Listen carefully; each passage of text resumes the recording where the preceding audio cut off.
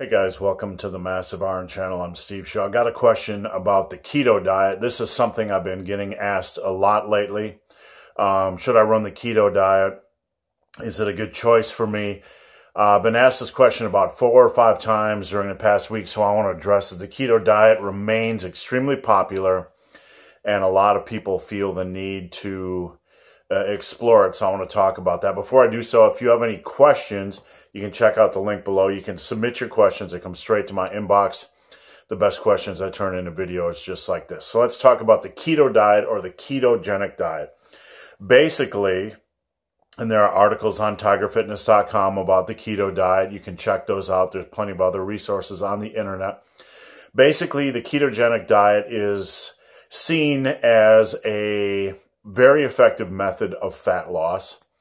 It's basically where you eat very little carbohydrates, uh, very minimal amount of carbohydrates, a higher fat, higher protein diet, and you put your body in a state of ketogenesis. Um, guys want to try it, guys and girls want to try it because they think it's some sort of, it's touted as some sort of magical fat loss diet. And the general belief when people look at this diet is that it's something that if they try, it's really going to assist them with weight loss, etc. Here are my thoughts.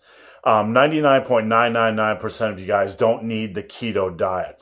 Uh, I don't really like diets like this. Um, I don't believe they're more effective than just a calorie deficit type of diet. Uh, it's not a lifestyle change. Um, when you go on the keto diet, you're going to lose a lot of water weight because you're restricting carbs and your body's simply going to dump extra water weight. So it's going to give you the appearance that it's really effective out of the gate. Any low carb, low carb diet will basically do that. But I am personally not an advocate for diets that are not lifestyle changes. If you are overweight and you want to cut fat, it's best to just go and eat whole clean foods just change your eating habits. So when the diet is over, when the fat loss is over, you can transition simply by adding a few more calories back in your diet, going into maintenance mode, etc.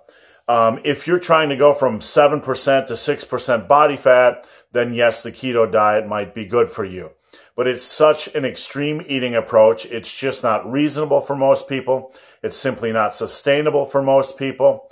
And again, it's not a lifestyle that you're going to um, want to keep for. It's not a lifestyle that it's not a dieting lifestyle that you can keep once the weight is off. So, in my opinion, when somebody comes to me and asks about the keto diet, I say no, don't do it. Just look at your current eating habits. What are you eating? What caused you to gain weight? And change those habits. Now, you don't have to go extreme and never have any fun but use the 80-20 rule or 90-10 rule. Eat clean, good whole foods most of the time.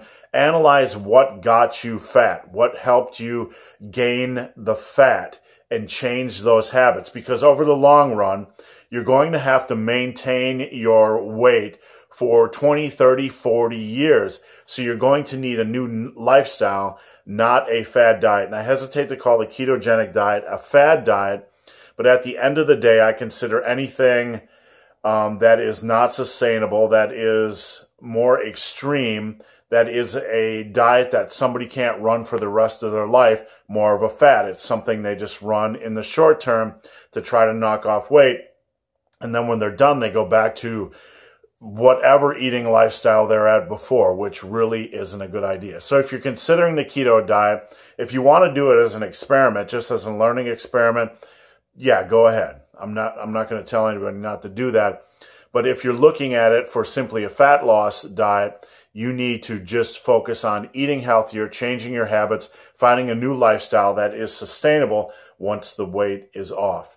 So guys, hope this video has been of some help. If you have any questions or comments, again, check out the link below.